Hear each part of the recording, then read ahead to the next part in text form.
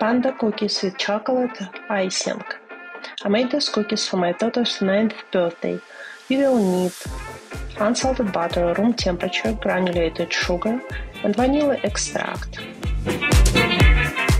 All-purpose flour, mix it together and divide in two parts.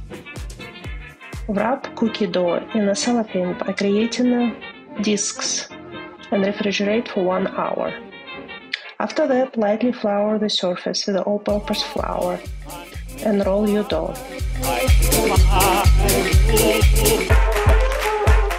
Cut out panda cookies with a cookie cutter and refrigerate again on a tray for 10 minutes before baking at 350 degrees Fahrenheit for 8 minutes. While cookie cooling, you should melt your chocolate. Transfer melted chocolate into the royal icing bags and tie with a knot. You will need to make a two bags.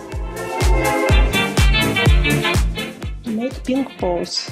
Melt pink chocolate chips with coconut oil and transfer them into the ball silicone molds.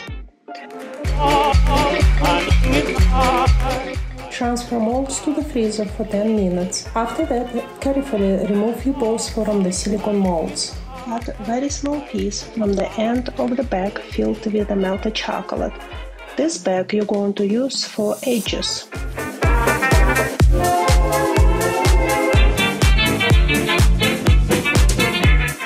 From the second bag, you cut little bit more from the end of the bag and you will use this for flattening your cookies.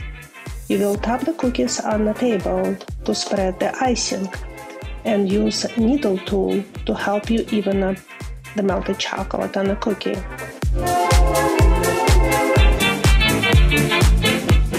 Let cookies dry for about 30 minutes. After that, you can individually wrap cookies in a self-sealed cellophane bags.